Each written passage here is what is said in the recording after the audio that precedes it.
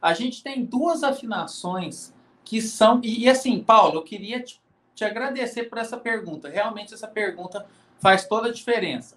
A gente tem duas afinações que são é, bem frequentes na viola. Né? E o que, que é uma afinação, gente? A viola ela tem aqui suas cordas, né? E cada corda ela é afinada em uma nota musical. E a gente tem duas afinações na viola que é bem frequente. Isso não acontece no violão. No violão a gente tem uma só. Mas na viola, na verdade, até tem mais, mas 99% das pessoas usam uma afinação só do violão.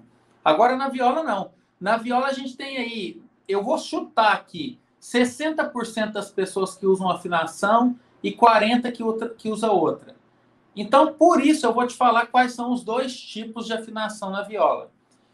A gente tem afinação cebolão e mi, que é essa aqui que eu estou usando. Então, escreve aí para você não esquecer. Quando você escreve, você não esquece. Escreve aí. Cebolão em mi. Cebolão em mi. Isso mesmo. Escreve aí. E a outra, e a outra, pode escrever cebolão em mi mesmo. Então, é, e a outra afinação é a afinação cebolão em ré né? Que não é essa. Por quê? Porque exatamente porque as cordas são diferentes. Quando você vai comprar corda para sua viola, você fala: "Eu quero corda cebolão em mi. Eu quero corda cebolão em ré", né? E a gente tem ainda na viola a, a rio abaixo, que é bem usado. Mas o que, que eu quero te explicar sobre isso? Essa afinação cebolão em mi, agora eu quero que você anota aí. Você vai, é, caso você queira comprar uma corda nessa afinação, você vai chegar no dono da loja ou na internet e vai procurar a corda Giannini Cobra, Cebolão em Mi. Anota aí, Giannini Cobra, Cebolão em Mi. Anota aí pra gente, Antônio. É, tensão leve, tensão leve do material níquel.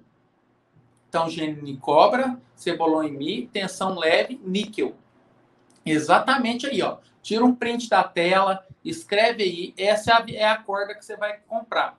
Aí muitas pessoas falam, ah, professor, mas cebolão em Mias fala que força muito a, a viola, o cavalete e pode rebentar. Ó, deixa eu te falar uma coisa, isso é mito. Isso é um mito. Toda viola ela é, ela é feita para resistir à afinação cebolão em mi.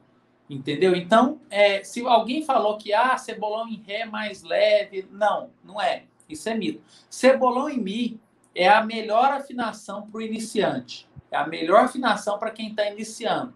Tá bom? Aí, ah, eu estou avançado. Aí, com certeza, você sabe outros tipos de afinações, né? Então, é, você vai é, conseguir é, trocar a sua afinação da sua viola.